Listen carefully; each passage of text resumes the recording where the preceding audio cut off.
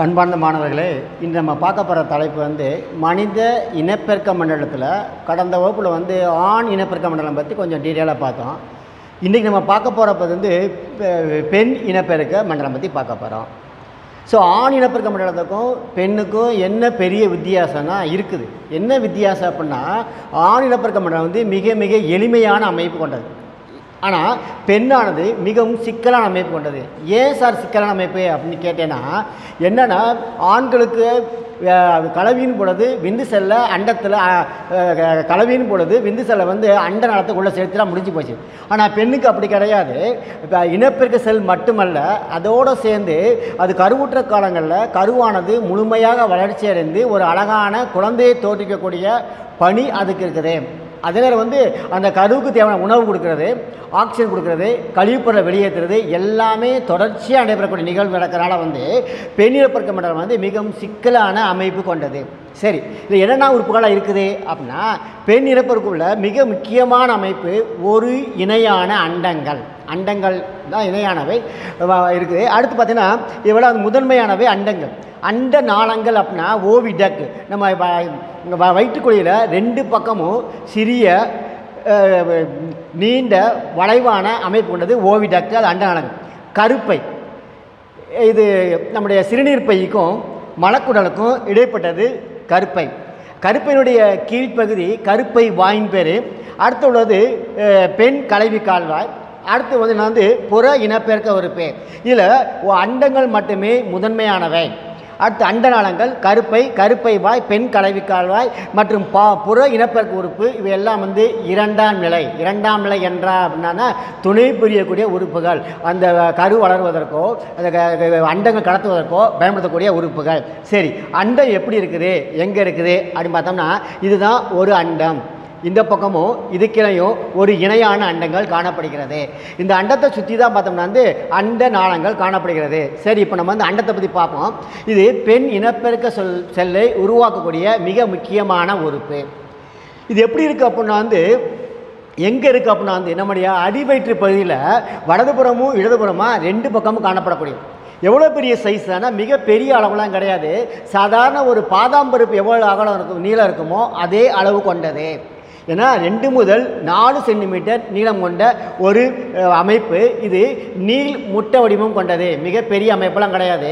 நம்ம விந்தகத்தை மாதிரி வந்து மிகப்பெரிய அமைப்பு கிடையாது. மிக சிறிய ரெண்டு முதல் நாலு சென்டிமீட்டர் மட்டுமே கொண்ட மிக மிக சிறி சிறிய உறுப்பு. அந்த உறுப்பு தான் வந்து மிகப்பெரிய மனதினையே உருவாக்கக்கூடிய இந்த அண்டத்தை உருவாக்கக்கூடிய இந்த உலகத்தை உருவாக்கக்கூடிய மிக முக்கியமான அமைப்பு எங்கே இருக்குது அப்படின்னா வந்து இந்த அண்டகத்தில் இருக்குது. சரி அந்த செல்கள் எப்படி இருக்குன்னு பாரு. எல்லாமே வந்து எப்பித்தீலியல் செல்கள். குறிப்பாக வந்து இவை கனசதுர வடிவம் வாய்ந்தவை. இது கனசதுர வடிவம் வாய்ந்த எப்பித்திய செல்கள் ஆக்கப்பட்டவை. இது என்ன அப்படின்னா வந்து அடுத்து இந்த அண்டப்பகுதியில் வந்து அண்ட இளைய வலை அப்படின்னு ஒரு மிக உள்பகுதி புறாமே வந்து உள்பகுதிக்கு அண்ட இளைய வலையின் பேர். இதில் என்னெல்லாம் இருக்குது அப்படின்னா வந்து இது நம்ம என்ன பண்ணுறோம் அப்படின்னா வந்து நம்ம ப அதில் அமைப்பை அடிப்படையாக வச்சு ரெண்டு பகுதியாக பிரிக்கும் ஒன்று வெளிப்பகுதி கார்டெக்ஸ் உள்பகுதி மெடலா. எப்படி நம்ம சிறுநீரத்தை பிரிக்கிறோமோ அதே மாதிரி புரணி என்பது வெளிப்புற பகுதி அல்லது கார்டெக்ஸ்னு பேர். அடுத்து உட்புறமானது மிடிலான் பேர். இப்போ எப்படி எது எப் எதை அடிப்படையாக வச்சு பிரிக்கிறாங்க அப்படின்னா வந்து நான் உள்பகு வெளிப்பகுதி பார்த்தீங்கன்னா மிக அடர்த்தியான இணைப்பு திசுவால் ஆக்கப்பட்டது. சரிம்மா அங்கே என்னெல்லாம் இருக்குது அப்படின்னா அங்கே என்ன இருக்குது அப்படின்னா வந்து பல்வேறு வளர்ச்சிகள் கொண்ட அண்டக நுண்பை அண்டக நுண்பை என்பது கிராஃபியன் பாலிக்கின் பேர். ஒவ்வொரு அண்டக நுண்பையும் வேறு வேறு வளர்ச்சியில் முதல் நிலை இரண்டாம் நிலை மூன்றாம் நிலைன்னு பல்வேறு வேறுபட்ட நிலையில் காணப்படக்கூடியது. இந்த மூன்றாம் நிலை மட்டுமே முதிர்ச்சியடைந்து முதிர்ந்த அண்டத்தை தோற்றுவிக்கும். அதனால் வந்து இங்கே பார்த்தீங்கன்னா வந்து எப்படி துகள்கள் சிதறி கிடந்தால் எப்படி இருக்குமோ அதே மாதிரி நுண்ணிய சிறு சிறு துகள்களாக ஆக்கப்பட்டது. அதனால தான் இது இந்த பகுதி வந்து மிக மிகவும் அடர்த்தியான பகுதியாக இருக்குமா? சரி மிடிலா எப்படி இருக்குது? அப்படின்னா மிடிலா பார்த்தீங்கன்னா வந்து தளர்வற்ற இணைப்புகள் ஒன்றா சேராமல் பிரிஞ்சு பிரிஞ்சு தளர்வற்ற அமைப்பாக இருக்குமா? இங்கே என்ன இருக்குது அப்படின்னா வந்து அபரிதமான மிக மிக அதிகமான இரத்த குழாய்கள். இது மாதிரி நாளமில்லா சுரப்பிகள் சுரக்கக்கூடிய ஹார்மோன் ஹார்மோன்கள் மாதிரி நிணநீர் நாளங்கள் மற்றும் நரம்பு இலைகள். நம்மளுக்கு அந்த இனப்பெருக்கை கட்டுப்படுத்தக்கூடிய ஹார்மோன்கள் இருக்குது. அதிகப்படியாக இரத்த குழாய்கள் இருக்குது. நரம்பிலைகள் எல்லாம் காணப்படுது. அடுத்து இது மொத்தமாக ஒட்டுமொத்தம் வந்து டியூனிக்கா அல்ஃபியூஜீனியா சொல்லக்கூடிய ஒரு உரையானது மூடி பாதுகாக்கிறது. டியூனிக்கா டியூனிக் அப்படின்னா வந்து உரைகள்னு அர்த்தம். நீங்கள் லெவன்த்து படிச்சிருப்பீங்க டியூனிகேட்டான் உயிரினம் படிச்சிருப்பீங்க. டியூனிகேட்டான் வந்து உடலுக்கு அதாவது வெளிப்புறமாக மூடிய அமைப்பு இருந்ததுன்னா அதுக்கு டியூனிகான் பேர். அல்ஃபியூஜினியா என்பது இனப்பெருக்க உறுப்புகளை சுற்றியுள்ள படனத்துக்கு படலத்துக்கு பேர் அல்ஃபியூஜினியான்னு பேர். டியூனிக்கா அல்ஃபியூஜியா அல்ஃபியூஜினியா நம்ம ஆண் இனப்பெருக்க உறுப்புலையும் பார்த்தோம். விந்தகத்தை சுற்றி உள்ள அமைப்பு. அது மாதிரி வந்து அண்டப்பையை சுற்றி உள்ள அமைப்புக்கும் டியூனிக்கா அல்ஃபியூஜினியா பேர். டியூனிக்கா அல்ஃபியூஜினியானா முன்னாடி சொல்லிட்டா என்ன அப்படின்னா வரணும் ஒன்றும் கிடையாது. என்ன அப்படின்னா வந்து சுற்றிய ஒரு மெல்லிய உரை போன்ற அமைப்பு. அடுத்து மீசோ வெபரிம் டிஷ்யூர் இது என்ன அப்படின்னா வந்து நீண்ட நாரிழை போன்ற அமைப்பு. இது என்ன சார் பண்ணுது? இதோட பணி என்ன அப்படின்னா வந்து அந்த அண்டமானது அந்தரத்தில் நிற்குது இப்போ அந்தரத்தில் நிற்கக்கூடிய அண்டத்தை வந்து இடுப்பு குழியோடையும் கருப்பையோடையும் இணைக்கக்கூடிய மிக முக்கியமான நாரிணை அமைப்பு தான் இந்த மீசோ வெபாரியம் மீசோ ஒவர் என்பது ஒரு நாரிணை டிஷ்யூ அவருடைய முக்கியமான பணி என்ன அப்படின்னா வந்து அண்டநாடு அண்டமானது அப்புறப்தான் தனியாக நிற்கிற மாதிரி இருக்கும். தனியாக நிற்காது ஏன்னா வந்து அது நம்முடைய தண்டுவடத்தை முதுகு முதுகு தொடர்புல எலும்போட எடு எலும்போட அந்த இடுப்பு சுவரோடையும் கருப்பையோடும் நன்றாக இணைக்கப்பட்டுள்ளது அல்லது பிணைக்கப்பட்டுள்ளது. ஏன்னா கீழே விழுகாமல் அப்படியே ஒரு இடத்துல பொசிஷன் நிற்கிறதுக்கு இந்த மீசோ வரையும் ஹெல்ப்ஃபுல்லாக இருக்குது. அடுத்து இரண்டாம் நிலை உறுப்புகளில் ஃபஸ்ட்டு வந்து ஃபெல்லோபியன் நாளங்கள். கரு அந்த அண்டத்துக்கு மிக நெருக்கத்தில் காணப்படக்கூடிய முக்கியமான அமைப்பு இந்த ஃபெல்லோபியன் நாளங்கள். இந்த ஃபெல்லோபியன் நாளங்களுடைய முடிவு வந்து கருப்பை. கருப்பையுடைய முடிப்பை கலவி கால்வாய். இந்த மூணுமே பார்த்தீங்கன்னா வந்து துணை உறுப்புகள் அல்லது அசசரி ஆர்கன் பேர் ஏன்னா வந்து இவை வந்து அந்த அந்த கருவை வளர்ப்பதற்கும் கரு கடத்துவ கடத்துவதற்கும் பயன்படுத்தக்கூடிய மிக முக்கியமான அமைப்பு. அதனால் வந்து இவை வந்து துணை உறுப்புகள் அல்லது துணை மண்டலம் பேர் ஃபஸ்ட்டு அண்ட நாளங்கள். அண்ட நாளத்துடைய மு- முன்பகுதி பார்த்தீங்கன்னா வந்து நீண்ட புனல் போன்ற அமைப்பு காணப்படும். அதுக்கு இன்ஃபண்டிப்புலம் அல்லது புனல் உறுப்புன்னு பேர். பிலோப்பின் குழலைய முனைப்பகுதி அகன்று ஒரு புனல் போல மாறி இருக்குமா? அந்த புனல் போன்ற அமைப்புக்கு என்ன பேர் அப்படின்னா வந்து புனல் உறுப்பு அல்லது இன்ஃபண்டிப்புலம் பேர். நம்ம முன்னாடியே மூளையில் பார்த்துருப்போம். அந்த ஹைப்போதலாமஸுடைய அடிப்பகுதி குவிந்து காணப்படும். அது இன்ஃபண்டிபுலம் தான் அப்போ இந்த நம்ம உடல் உறுப்பில் ஒரு புனல் நீ குழாய் அமைப்பில் முன்பகுதியானது புனல் போல் வடிவு இருந்ததுன்னா அதுக்கு பேர் இன்ஃபண்டிபுலம் பேர். சரி அதோடைய முன்பகுதி பார்த்தீங்கன்னா குட்டி குட்டியாக குட்டியாக குட்டியாக விரல் போன்ற நீட்சிகள் காணப்படும். ஃபிம்ப்ரியன் விரல் போன்ற நீட்சிகள் காணப்படும். வகையில் ஃபிம்ப்ரியன் பேர். அவருடைய பணி என்ன சார் அப்படின்னா வந்து அண்டமானது அண்டகத்திலிருந்து அண்டமானது வெளியே வந்துருச்சு. வந்துச்சு அப்படின்னா வந்து இந்த இலைகளானது வேகமாக அசைவடையும். அவ்வாறு அசையப்படும் பொழுது அந்த அண்டமானது அந்த அண்டகத்தில் விடப்பட்ட அண்டமானது அந்த நாளும் அந்த பிலோபின் குழாயை நோக்கி உள்ளே இழுப்பதற்கு இந்த அமைப்பானது பயன்படுகிறது. அடுத்து புனல் உருப்படிய இது அகன்ற பகுதி ஆம்புலேன் பேர் இந்த ஆம்பிளுடைய மையப்பகுதி ரொம்ப விரிவாக இருக்குமா? இந்த இடம் வந்து மிக முக்கியமான பகுதி. ஏன்னா வந்து இந்த ஆம்புலே பகுதியில் தான் என்ன பண்ணோம் வந்து ஆண் இனப்பெருக்க செல்லாகிய விந்து செல்லும் பெண் இனப்பு செல் அண்டமும் ஒன்றாக இணைந்து கருவுறுதல் நிகழ்வானது இங்கு தான் நடைபெறுகிறது. அதாவது அண்டை விடுபட்ட பின்னாடி இங்கே வந்து நாற்பது இருபத்தி நாலு மணி நேரம் கா காத்திருக்குமா? கலவின் பொழுது விந்து செல்லானது நாற்பத்தெட்டு மணி கா காத்திருக்குமா? அப்போது அண்டமும் விந்து செல்லும் ஒன்றோடு ஒன்று இணையும் இணையக்கூடிய பகுதி இந்த ஆம்புலா பகுதி தான் கருவுறுதல் எங்கே நடைபெறுகிறது என்றால் வந்து கருவறை அல்ல கர்ப்பப்பை அல்ல. அப்புறம் எங்கே சார் அப்படின்னா வந்து அந்த பெலோப்பின் குழாவுடைய அந்த ஆம்புல பகுதியில் தான் ஆணிழப்புக செல்லும் பெண்ணிழப்பு செல்லும் ஒன்றோடு ஒன்று இணைகிறது. இணைந்து ஒரு கருமுட்டை மட்டும் உருவாக்கிறது அடுத்து ஃபெல்லோப்பினுடைய கடைசி பகுதி என்ன பேர் அப்படின்னா வந்து இஸ்துமஸ் இஸ்துமஸ்னா வேறு ஒன்றும் கிடையாது. இணைக்கக்கூடிய திசின் பேர். நம்ம தைராய்டு சுரப்பில் பார்த்துருப்ப தைராய்டு சுரப்பியானது வலது மற்றும் இடது ரெண்டு கதுப்புகள் இருக்கும். அந்த கதுப்புகளை இணைக்கக்கூடிய பகுதிக்கு இஸ்துமஸ்னு பேர். இங்கேயும் இஸ்துமஸ் பகுதி இருக்குது. இஸ்துமஸ் பெரிய வித்தியா வேறு கிடையாது. விலங்கியலில் இஸ்துமஸ் என்பது என்ன அர்த்தம் அப்படின்னா வந்து இரண்டு பகுதிகளை இணைக்கக்கூடிய ப பகுதி. இங்கே எதை இணைக்குது அப்படின்னா வந்து இந்த ஃபெலோப்பின் குழாயினுடைய கடைசி பகுதியையும் அது மாதிரி ஆம்புலாவையும் கருப்பையோடு இணைக்கக்கூடிய பகுதி. இஸ்மஸ் என்பது ஒரு சாதாரண தசையான அமைப்பு. இந்த தசை என்ன பண்ணுது அப்படின்னா வந்து இந்த புனலூர் புனல் உறுப்பு அதாவது நான் பிலப்பின் நாடத்தினுடைய கடைசி பகுதியையும் கருப்பையையும் இணைக்கக்கூடிய அமைப்பு. இந்த இஸ்மஸ் இஸ்துமஸ் என்பது விலங்கியலில் இணைக்கக்கூடிய அமைப்பு அப்படின்னு பேர். இது எங்கே வந்தாலும் இஸ்துமஸ் இணைக்கக்கூடிய பகுதி தான். சரி கருப்பை. நம்ம சாதாரணமாக கர்ப்பப்பை கருப்பை. கரு கற்பப்பை கிடையாது கருப்பை. ஏன்னா கருவை தாங்கக்கூடிய பை போன்ற அமைப்பு கற்ப கருப்பை. இவருடைய சிறப்பம்சம் என்ன அப்படின்னா இது சாதாரணமாக கருவுறாத காலங்களில் மிக மிக சிறிதாக இருக்கும். கிட்டத்தட்ட இருபது சென்டிமீட்டருக்கு குறைவாக தான் இருக்கும். ஆனால் கருவுற்ற காலங்களில் கிட்டத்தட்ட இருபது மடங்கு அளவுக்கு மிகவும் பெரிதாகக்கூடியது எப்படியும் பலூனை காற்று ஊதணுமா பெருசாகிட்டே போதோ அதே மாதிரி வந்து கரு உள்ளே போய் கரு வளர வளர மிக பெரிதாக அமையக்கூடிய ஒரு அமைப்பு. இது எப்படி இருக்குது அப்படின்னா வந்து உள்ளே எதுவுமே கிடையாது. ஒரு உள்ளீரற்ற எப்படி இதயத்தை கட் பண்ணோம்னா வெறும் தசை மத்திரம் இருக்குதோ அது மாதிரி உள்ளே வந்து உள்ளீரற்ற தடித்த சுவர்களை கொண்ட ஒரு அமைப்பு. ஆனால் என்ன அப்படின்னா வந்து அதிகப்படியாக இரத்த குழாய்கள் காணப்படக்கூடியது. கருப்பையில் வந்து நிறைய இரத்த குழாய்கள் காணப்படும். உள்ளே பார்த்தீங்கன்னா தசைகளான தடித்த தசைகளான திசு உள்ளீரற்றதே வேறு ஒன்றுமே கிடையாது இது எப்படி இருக்குது அப்படின்னா வந்து ஒரு பேரிக்காய் பார்த்துருப்பேன் இப்போ நான் இப்போ அது எல்லா வீட்லையும் பா பேரிக்காய் சாப்பிட்றமே. அதே மாதிரி வந்து தலையிலாக வைக்கப்பட்ட பேரிக்காய். அதாவது மேல் பகுதி அகன்று குவிந்து காணப்படும் கீழ்ப்பகுதி குறுகி காணப்படக்கூடியது. அதான் பேரிக்காய் வடிவமானது. அப்படின்னா மேல் பகுதி அகன்றும் கீழ்ப்பகுதி குறியும் காணப்படக்கூடியது. இது எங்கே இருக்குது அப்படின்னா வந்து இடுப்பு குழியில் நம்முடைய சிறுநீர் பைக்கும் மலக்குடலுக்கும் இடைப்பட்ட பகுதி தான் இந்த கருப்பை. இந்த கருப்பை தான் என்ன அப்படின்னா வந்து ஒரு சாதாரண ஒரு எட்டு செல் பதினாறு செல் வரக்கூடிய அந்த செல்லை வந்து முழுமையாக ஒரு ரோஜா மொட்டு போன்ற ஒரு குழந்தையை உருவாக்கக்கூடிய பகுதிங்க தான். கிட்டத்தட்ட வந்து இரநூத்தி எண்பது நாட்கள் வரைக்கும் அந்த கருவானது இந்த கருப்பையில் தான் கருப்பையில் வளர்ந்தால் முழுமையான ஒரு குழந்தையை உருவாக்கக்கூடிய அமைப்பு. அதனால தான் வந்து பெ- பெண்களுக்கே உரிய ஒரு சிறப்பு அமைப்பு. இதனால தான் வந்து பெண்கள் வந்து உலகத்தில் போற்றப்படக்கூடியவர்கள் சொல்ல காரணமே வந்து இந்த கருப்பை தான். ஏன்னா வந்து இங்கு தான் வந்து ஒரு ஒவ்வொரு கருவுற்ற தாயானவள் ஒவ்வொரு முறையும் ஒரு ரோஜா மொட்டு போன்ற குழந்தை உருவாக்கக்கூடிய பகுதி இந்த கருப்பை தான். சரி இதை வந்து ரெண்டு பகுதியாக பிரிக்கிறாங்க. ஒன்று உடல் பகுதி மற்றொன்று வந்து மேற்புற கோள வடிவப்பு. உடல் பகுதி அப்படின்னா வந்து முக்காவாசி பகுதி வந்து அந்த கீழே உள்ள பகுதியெல்லாம் உடல் பகுதி. மேற்பகுதி பார்த்தோன்னா ஒரு பேரிக்காவுடைய மேற்பகுதி மாதிரி வந்து குவிந்து காணப்படக்கூடிய பகுதி. அது இன்னொரு பேர் வந்து குவி முகடுன்னு சொல்கிறாங்க இது பாரு இதான் வந்து பெண்ணுடைய அந்த கருப்பை அமைப்பு. இது வந்து அண்டம் ரெண்டு பக்கம் உள்ளது அண்டம் பேர். இந்த மேலே உள்ள உறுப்பு புனல் உறுப்பு. இது வந்து அண்ட நாளம். அண்டநாளத்துடைய முடிவு பகுதியை பார்த்தேன் அப்படின்னா வந்து முடிவு பகுதி வந்து நீண்ட புனல் போன்ற அமைப்பு இதுக்கு புனல் உறுப்புன்னு பேர். இது அண்டநாளம் முடிஞ்சு போச்சு.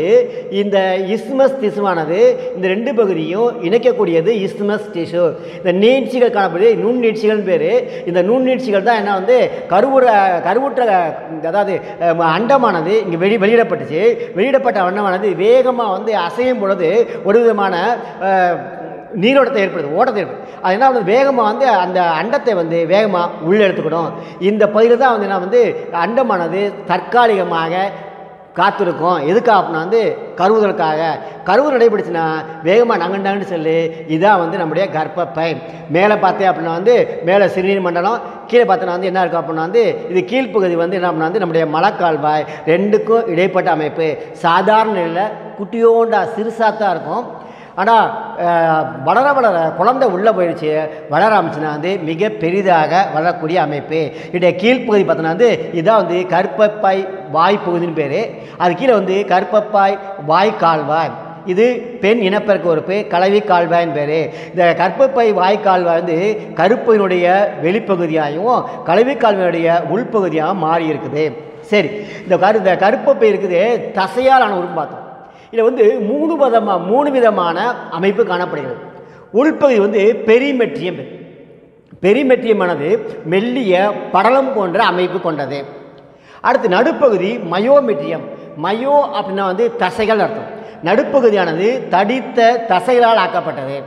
இதோட பணி என்ன சார் அப்படின்னா அதை கர்ப்பகாலம் முடிஞ்சு க- பிரசவ காலங்களில் அந்த குழந்தையானது தாயுடைய கருப்பை விட்டு வெளியேறணும் அப்படின்னா இந்த மயோமெட்ரியமானது வேகமாக சுருங்க ஆரம்பிக்கும். அந்த ஆக்சிடோசனுடைய ஹார்மோனானது இதன் மீது செயல்படும் பொழுது வேகமாக கர்ப்பப்பை சுருங்க ஆரம்பிக்குது. அவ்வாறு கர்ப்பப்பை சுருங்க ஆரம்பிக்கும் போது இந்த கலவிக்கால்வாய் வழியாக குழந்தையானது வெளியேற்றப்படுகிறது. சரி எண்டோமெட்ரியம். எண்டோமெட்ரியம் தான் மிக மிக முக்கியமான அமைப்பு. ஏன் சார் முக்கியமான அமைப்பு அப்படின்னு கேட்குறேன்னா இந்த உள்ளே பார்த்தீங்கன்னா வந்து சிறிய குட்டி குட்டியாக நிறையா வந்து என்ன அப்படின்னா வந்து அதிகப்படியான இரத்த நாளங்கள் காணப்படக்கூடியது. வயது அது பூ பெய்த காலங்கள்லேருந்து மாதவிடாய் காலங்கள் வரைக்கும் ஒவ்வொரு மா மாதமும் இருபத்தெட்டு நாளுக்கு ஒரு முறை இது மாற்றக்கூடிய அமைப்பு.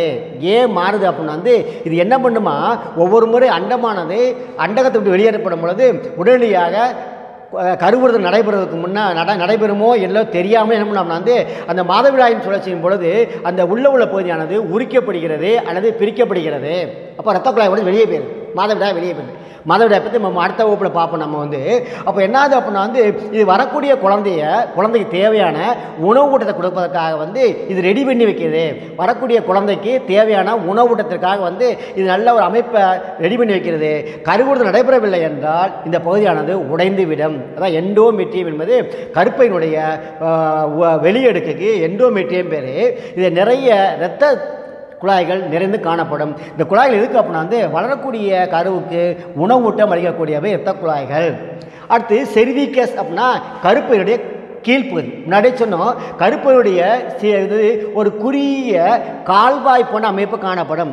இந்த கருப்பையுடைய குறுகிய கால்வாய் போன்ற அமைப்பு வந்து கலவி கால்வாய் கலவி கால்வாய் வந்து அது ஆணும் பெண்ணும் சேர்வதற்காக உள்ள சேரக்கூடிய அந்த உறுப்பு தான் கலவி கால்வாய் பேர்.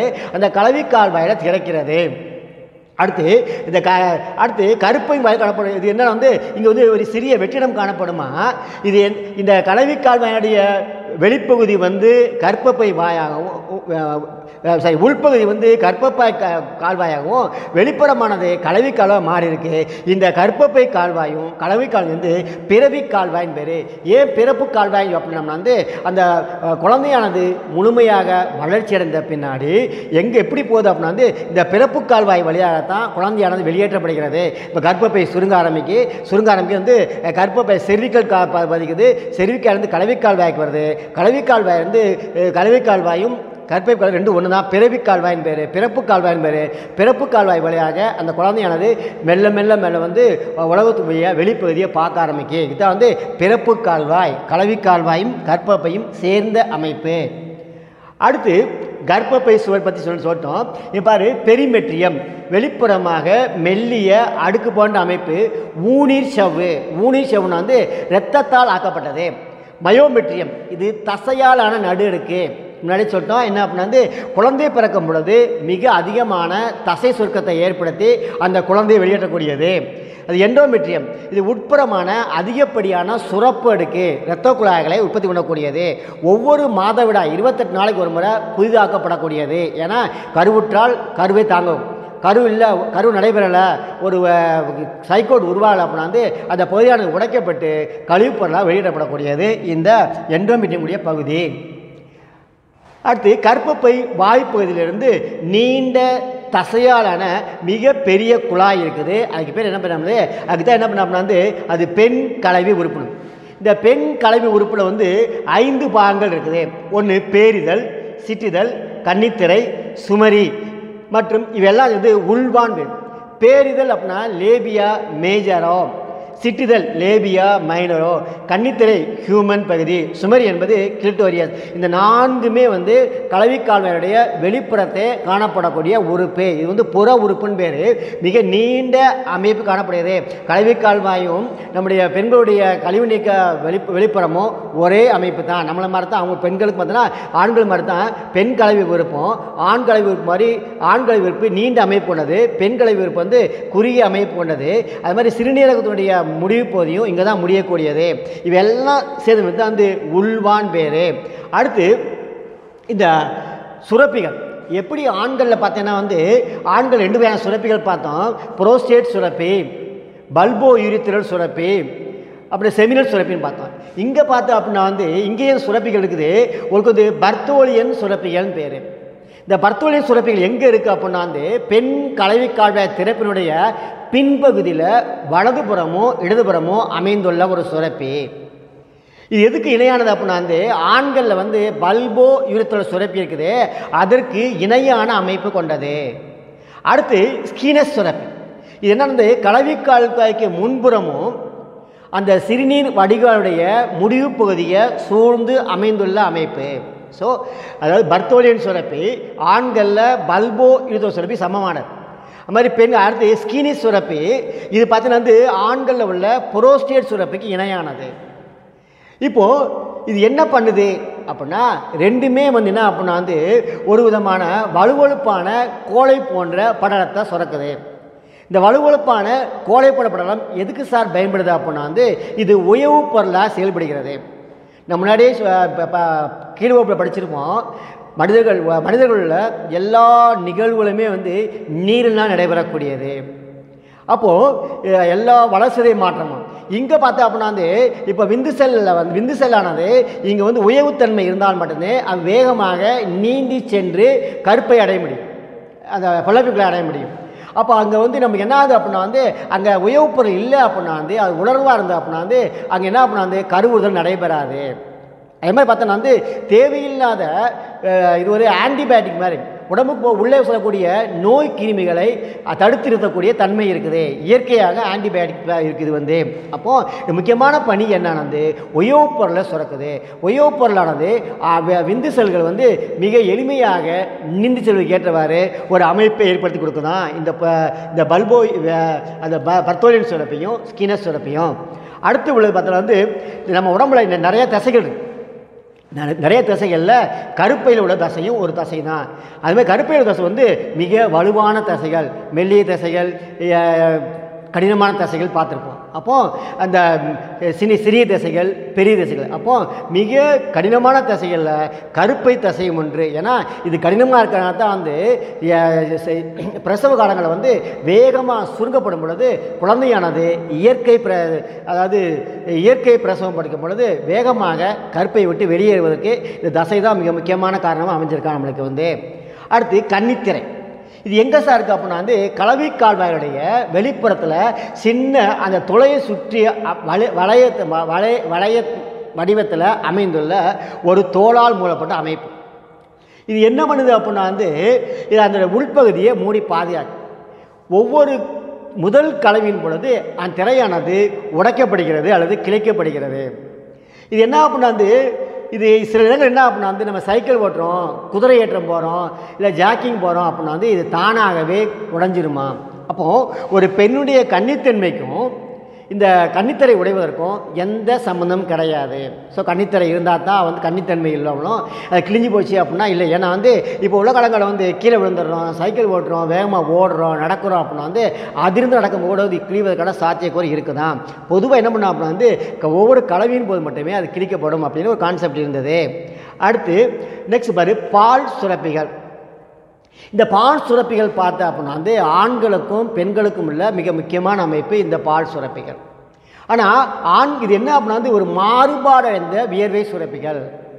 அது என்னன்னா டெரிவேட்டிவ்ஸ் எப்படி நமக்கு வந்து உடம்புல பார்த்தீங்கன்னா வந்து அந்த எண்ணெய் சுரப்பி இருக்குதோ அது மாதிரி இந்த வியர்வை சுரப்பி இருக்குது. இது மாறு பகுதிகளில் இது மாறுபாடு அடைந்த ஒரு அமைப்பு தான் வந்து இந்த பால் சுரப்பு என்பது. ஆண்களில் இருக்குதா? இருக்குது. ஆனால் ஆண்களில் இது எச்ச உறுப்பு. எச்ச உறுப்புனா வெஸ்டீஜர் அதான் படிச்சிருப்போம். ஒரு செயலற்ற உறுப்பு. இதுக்கு எந்த செயலும் கிடையாது. ஆனால் ஆண்களில் மாறுப்பையில் ரெண்டு பக்கம் காணப்படக்கூடிய அமைப்பு அமைப்பு. ஆனால் பெண்களில் பார்த்தோன்னா வந்து இது செயல்படக்கூடிய உறுப்பு. அதாவது கர்ப்பகாலம் முடிஞ்சு குழந்தை பேரை வந்த உடனே என்ன அப்படின்னா வந்து இங்கே வந்து பால் சுரத்தல் நடைபெற்று குழந்தைக்கு தேவையான இயற்கை முறையில் பால் கொடுக்க அமைப்பு தான் வந்து இந்த மார்பகங்கள். இப்போ தான் வந்து நம்முடைய மாறு பகுதியில் ஒரு இணையான பால் சுரப்பிகள் காணப்படுகிறது. இது என்ன ஆகும்னா வந்து இந்த பால் சுரப்பிகள் பார்த்தோன்னா வந்து எல்லோருக்கும் ஒரே மாதிரியாக இருக்காது. கொழுப்பு சக்தி அதிகமாக இருந்தது அப்படின்னா அவங்களுக்கு வந்து பெரிய அளவுலையும் கொழுப்பு திசுகள் குறைவாக இருந்தால் அது மிக குறைந்த அளவில் இருக்குமா? இப்போ உடம்புல உள்ள கொழுப்பு சக்தி அடிப்படையாக வச்சு தான் வந்து அது பெருசாக இருக்குதா? சிறுசாக நிர்ணயம் பண்ணுறாங்களா இப்போது இந்த பால் சுரப்பிகள் பார்த்தோன்னா வந்து வேறுபட்ட அளவில் இருக்கும். சிறுசு பெருசுன்னு இருக்கும் குறிப்பாக வந்து எப்போ வந்து பொதுவாக வந்து கருவுறாத காலங்களில் வளர்ச்சி கம்மியாக இருக்கும். கருவுற்ற காலங்களில் வளர்ச்சி அதிகமாக இருக்கும். பெண்கள் வந்து பூப்படைவதற்கு ஒரு ஒரு வருஷத்துக்கு அப்புறம் தான் வந்து இதோட வளர்ச்சி மிக அபரிதமாக இருக்க காணப்படக்கூடியது. சரி இதோடைய நடுப்பகுதிக்கு பால் காமுன் இது மார்பகத்தில் மையப்பகுதியில் காணப்படக்கூடிய ஒரு அமைப்பு. இந்த பால் காம்பை சுற்றி பார்த்தீங்கன்னா ஒரு வட்ட வடிவமான ஒரு சிறப்பு வகையான திசு காணப்படுகிறது. அதுக்கு ஏரியோலா டிஷ்யூன்னு பேர். இதனுடைய சிறப்புத்தன்மை என்ன சார்னா வந்து இந்த ஏரியோலா டிஷ்யூ வந்து ஒரு சுரக்கும் தன்மை கொண்டது. சுரப்பிகள் சுரப்பு தன்மைது என்ன பண்ண வந்து ஒரு எண்ணெய் போன்ற ஒரு சுரப்பியை உருவாக்கிறது. சரி சார் என்ன சார் பண்ணுது அப்படின்னா வந்து இந்த எண்ணெய் போன்ற சுரப்பியானது அந்த பால் காம்புகளில் ஏற்படக்கூடிய விரிசல் விடாமல் கோடை காலமாகுது குளிர்காலம் அப்படின்னா வந்து நம்ம தோலில் வந்து விரிசல் விடுமே. அது மாதிரி இது பால் காம்புகளில் விரிசல் அடையாமல் தடை செய்யக்கூடியது. இந்த ஏரியோலா சுரப்பிகள் சுரக்கக்கூடிய எண்ணெய் போன்ற சுரப்பிகள். ஏன்னா கொழுப்பு பொருளிலிருந்து தனியாக பிரித்தெடுக்கப்பட்ட எண்ணெய் போன்ற பொருளானது. அந்த த தோல் அந்த அந்த பால் சுரப்பினுடைய அந்த காம்பு பகுதியில் சுற்றி காணப்படக்கூடியது. அது என்ன பண்ணுது அப்படின்னா வந்து அங்கே எந்த விதமான உடைதலோ பிரிதலோ இல்லாமல் அதை மேலே வெடிப்புகள் வராமல் தடை செய்யுது. சரி உள் அமைப்பு பார். வெளிப்புறத்திலிருந்து உட்புறமாக சிறிய சிறிய கதுப்புகளால் பிரிக்கப்பட்டிருக்கும். எப்படி என்ன அப்படின்னா வந்து கதுப்புகள். வெளியே வெளிப்புறமாக வந்து நம்ம இதில் படிப்போம். நம்ம நிழலி நாடத்தில் வெளியே இருந்து உள்ளே பிரிகிற மாதிரி. இங்கேயும் பார்த்தீங்கன்னா கிட்டத்தட்ட ரெண்டிலிருந்து குறைஞ்சபட்சம் ரெண்டுலேருந்து இருபத்தஞ்சி எண்ணிக்கையிலான கருப்புகள் வெளியிருந்து உள்புறமாக பிரிக்கப்பட்டவை. முன்னாடி பார்த்தோன்னா எல்லாம் ஒன்றா சேர்ந்துருக்கும். பின்புறம் பார்த்தோன்னா வந்து எல்லாம் தனித்தனியாக பிரிஞ்சு காணக்கூடிய கதுப்புகளை காணப்படக்கூடியது. இதுதான் வந்து பால் சுரப்பிகள். இங்கே பார்த்தீங்கன்னா அந்த பிரிஞ்சிருக்கே இதெல்லாம் வந்து கதுப்புகள். ஒன்று ஒன்று கிட்டத்தட்ட இருபத்தைந்துக்கு ரெண்டுலேருந்து இருபத்தைந்துக்கு மேற்பட்ட கதுப்புகள் காணப்படக்கூடியது. இந்த வட்ட வடிவ திசை நிரம்பி போயிருக்குது. இதை இதான் வந்து ஏரியோலா டிஷ்யூன்னு பேர். இது என்ன பண்ணுது அப்படின்னா முன்னாடி சொன்ன மாதிரி வந்து ஒரு விதமான கொழுப்பு பொருளை சுரக்குது. இந்த கொழுப்பு பொருளானது அந்த காம்பு பொருளுடைய வந்து விரிசல் இல்லாமல் தடை செய்கிறது. அடுத்து அடுத்த பகுதி பாரு. பால் சுரப்பிகள் பார்த்தோம். இல்லை ஏற்கனவே சொல்லிட்டோம். ரெண்டிலிருந்து இருபத்தஞ்சி எண்ணிக்கையில் உள்ள நுண் கதுப்பு கதுப்புகள் காணப்படும். இந்த கதுப்புகள் பார்த்தோன்னா பழையபடியும் குட்டி குட்டியாக குட்டி குட்டியாக வந்து பல நுண் கதுப்புகளை கொண்டது. கதுப்புகள் என்பது இருபத்தி ரெண்டில் இருபத்தஞ்சு இருக்கும். ஒவ்வொரு கதுப்புகள்லையும் இருபத்தஞ்சுக்கு மேற்பட்ட சிறிய சிறிய சிறிதாக சிறு சிறிதாக கதுப்புகள் காணப்படும். அவற்றிற்கு நுண்கதுப்புகள்னு பேர். இந்த நுண்கதுப்புகளை பார்த்தீங்கன்னா வந்து ஒரு சிறப்பு வகையான எப்பித்திலேசுகள் காணப்படுகிறது. அது வந்து அதான் அந்த இது வந்து அப்போது அந்த அந்த அந்த நுண்கதுப்புகளானது குட்டி குட்டி குட்டியாக மீன் மீச்சிறு மீனாக தெரியும். மிக மிக சிறிய கதுப்புகள். அவை பிரிக்கப்பட்டு நுண்கதுப்புகள் நுண்கதுப்புகள் மீண்டும் பிரிக்கப்பட்டு மீச்சிறு கதுப்புகள் அசினஸ் இந்த அசினஸ் பார்த்தோன்னா வந்து குட்டி குட்டியாக குட்டி குட்டியாக எல்லாமே வந்து எப்பித்திலியல் செல்லால் சூழப்பட்டது. பெரும்பாலும் எப்பித்திலியம் அப்படின்னா வந்து சுரக்கக்கூடிய செல்கள். அப்போ என்ன அப்படின்னா வந்து அதாவது மார்பக பகுதியில் உள்ள பல க இருபத்தஞ்சு கதுப்புகள் வரைக்கும் அந்த இருபத்தஞ்சி கதுப்புகளையும் பல நுண்கதுப்புகள் இருக்குது. ஒவ்வொரு நுண்கதுப்புகளையும் குட்டி குட்டியாக மீச்சிறு கதுப்புகள் இருக்குது. இந்த மீச்சிறு கதுப்புகள்லாம் சுற்றி பார்த்தோன்னா வந்து எப்பித்திலியல் செல்கள் காணப்படுகிறது. உள்ளுக்குள்ளே பார்த்தோன்னா வந்து ஒரு அந்த எப்பித்திலியல் செல்லானது ஒரு பால் சொல்லக்கூடிய அந்த பாலை சுரக்கக்கூடியது இந்த பகுதி மட்டும்தான். இந்த எப்பித்திலியல் தான் வந்து அந்த ரத்தத்திலிருந்து ஒரு பிரித்தெடுத்து அதை பாலாக மாற்றி அங்கே சேமித்து வைக்கிறது. அது பார்த்தீங்கன்னா வந்து ஒவ்வொரு அந்த அசினத்துலேயும் சின்ன சின்ன குழாய்களாக இருக்கணும்.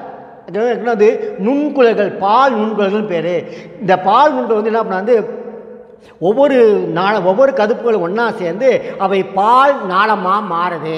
எப்படி வந்து மேலேருந்து கீழே வந்துச்சோ அது மாதிரி கீழே நம்ம வந்து அந்த சிறிய சிறிய குழல்கள் வந்து பால் குழல்கள் வந்து பால் நாளமாக மாறுது. இந்த பால் ஒன்றா ஒன்றுக்கு மேற்பட்ட எப்படி வந்து கதுப்புகள் மாறிச்சோ நுண்கதுப்பாக மாறிச்சோ அது மாதிரி இங்கே நுண்கதுப்புகள் வந்து அதே மாதிரி இந்த மீச்சல் கதுப்புகள் நுண்கதுப்புகள் மீச்சல் மாறின மாதிரி இந்த பால் குழல் வந்து பழையபடியும் பால் நுண்குழலாக மாறுது. பால் நுண்குழலாக மாறி அவை பழைய ஒன்று கூடி வரிமுனைகளாக பால் வரிமுனைகளாக மாற்றம் பெறுகிறது. அடுத்த மூணாவது. இப்போ என்ன வந்து இந்த பால் அந்த பால் வரிமுனையானது பால் உந்து நாளத்தோடு இணைக்கப்பட்டது. உந்துதல்னால் தள்ளுறது. எங்கே தள்ளுது அப்படின்னா வந்து அந்த அந்த மீச்சிறு கதுப்புகளால் சுரக்கப்பட்ட அந்த தா அந்த பாலானது பால் நுண்குழல் வழியாக நுண்குழலில் சுரக்குது நுண்குழல்கள் இருந்து அது எல்லாம் ஒன்றா சேர்ந்து பால் வரிமுனைக்கு உருவாக்குது. இந்த பால் வரிமுனையிலிருந்து உந்து நாளத்தோடு சேர்த்து வந்து எங்கே போகுது அப்படின்னா வந்து? இது பால் தேக்கி வைக்கும் இடம் அமைய பால் குழிக்கு மாறுது. பால் குழிக்கு கடத்தப்படுகிறது. அந்த உந்து நாளம் என்ன பண்ணா வந்து அந்த உருவாக்கப்பட்ட அந்த பாலை வந்து வேகமாக உள்ளே தள்ளி தள்ளி தள்ளி எங்கே வைக்க அப்படின்னா வந்து அந்த பால் தேக்கி வைக்கிறதுக்கு மாற்றிடுது இப்போது பாலானது இங்கே தேங்கி இருக்குது இப்போது ஒவ்வொரு பால் உந்துநாளமும் பால் காம்பினுடைய நுனிப்பறிவு நுனிப்பரப்பில் திறந்திருக்குது. இப்போ பாலானது பால் குழியில் நிறைஞ்சி காணப்படும். அவருடைய முடிவு பகுதியானது சிறிய சிறிய நுண் துளைகள் வழியாக வெளிப்புறமாக திறக்குது. இப்போ என்ன வந்து தாயானவள் தன் குழந்தைக்கு பால் ஊட்டப்படும் போது அந்த நுண் துளைகள் வழியாக பால் குழியிலிருந்து குழந்தையினுடைய அந்த சிறு துளை மூலமாக குழந்தையினுடைய வாய்க்கு செல்லப்படுகிறது. சரி அடுத்து பெண்களை வந்து மார்பக வளர்ச்சி எப்போ ஆரம்பிக்கும் அப்படின்னா வந்து பூ பெய்தல்ல. இப்போ பெண்கள் வந்து பதிமூணு வயசு வயசுக்கு ஆனால் வந்து பன்னெண்டுலேருந்து பதிமூணு வயசுல வந்து மிக வேகமாக வளர்ச்சி அடையும். அது மாதிரி ஒவ்வொரு மாதவிடா சுழற்சியின் பொழுதும் இந்த மார்பகங்களை வள மார்பகங்கள் வந்து வளர்ச்சி அடையும். ஏன்னா வந்து அந்த இந்த ஹார்மோன் இருக்குது பாலிக்கல் சொல்லக்கூடிய hormone luteinizing hormone luteotropic hormone. இந்த ஹார்மோன் என்ன பண்ண வந்து சிறிய சிறிய மாற்றத்தை ஏற்படுத்தும். ஆனால் மிகப்பெரிய மாற்றம் ஏற்படாது. மிகப்பெரிய மாற்றம் எப்போ ஏற்படும் வந்து அந்த பெண்கள் வய வயதுக்கு வர காலங்கள் மட்டுமே நடைபெறும். அடுத்த வளர்ச்சி வந்து த க கருவுற்ற காலங்களில் கரு வளரும் பொழுது அந்த பகுதி மாறுபடும். அது மாதிரி அந்த பால் கொடுக்க காலங்களில் மாறுபடும். மற்ற நேரத்தில் வந்து அது எதுவுமே பண்ணாது. சரி அந்த பால் சுரக்கக்கூடிய அளவுக்கும் அந்த மார்புக்கு அளவுக்கும் சம்மந்தம் இருக்கு. ஆனால் சம்மந்தம் கிடையாது. உடம்புல வந்து எவ்வளவு கொழுப்பு பொருட்கள் மார்பகத்தில் சேமிக்கப்படுகிறதோ அதற்கேற்றவாறு சுரப்புத்தன்மை அதிகமாக இருக்கும். கொழுப்புகள் அதிகமாக இருந்தால் சுரப்புத்தன்மை அதிகமாக இருக்கும். கொழுப்பு கம்மியாக இருந்தால் சிறிதாக இருக்கும். இதான் வந்து அந்த பால் சுரப்பிற்கான அமைப்பு. அடுத்து இதில் பகுதியில் பாரு பால் காம்பு. பால் காம்புடைய மையப்பகுதி வட்ட வடிவமாக இருக்கும். அது ஏரியோல வசைகள் பேர். அதில் குட்டி குட்டியாக நுண்கதுப்புகள் காணப்படும். அந்த நுண்கதுப்புகள் வந்து பல நுண்கதுப்பாக பிரிக்கப்பட்டிருக்கும். அதுக்கு அசினஸ்ன்னு பேர். அந்த அசினஸ்லேருந்து பார்த்தா குட்டி குட்டியாக எப்பிதி செல்கள் காணப்படும். செல்குள்ளே வந்து பால் சுரக்கப்படுகிறது. அந்த சுரக்கப்பட்ட பாலானது பால் நுண்குழல்கள் வடிவாக பால் நாளத்துக்கு வெளியேற்றப்படுகிறது. இப்போ பால் நாளத்திலேருந்து அனைத்து பால் வந்து மெமரி ஆம்புலான்னு சொல்லக்கூடிய பால் விரிமுனைகள் சேர்க்கப்படுகிறது. இந்த பால் விரிமுனைகளில் பால் உந்து நாளம் மூலமாக பாலானது பால் குழிகளை சேமித்திக்கப்படுகிறது. அந்த வெளிப்புற அந்த பால் காம்பினுடைய துளை வழியாக சேமிக்கப்பட்ட பாலானது குழந்தைக்கு வந்து பால் ஊட்டப்படும் பொழுது துளை வழியாக வெளியிடப்படுகிறது இதான் வந்து பெண் இனப்பெருக்கம் நடத்திய மிக முக்கியமான அமைப்பு. அன்பு மா மண் மாணவ செல்வங்களை இன்றைக்கி பார்த்த வந்து ஆண் மற்றும் பெண் இனப்பெருக்க உறுப்பை பார்த்தோம். இனி வரும் காலங்களில் வந்து எப்படி வந்து விந்து செல்களோ அண்ட செல்களோ உருவாக்கப்படுறத பற்றி நம்ம வந்து அடுத்த வாரம் பார்ப்போம். நன்றி வணக்கம்.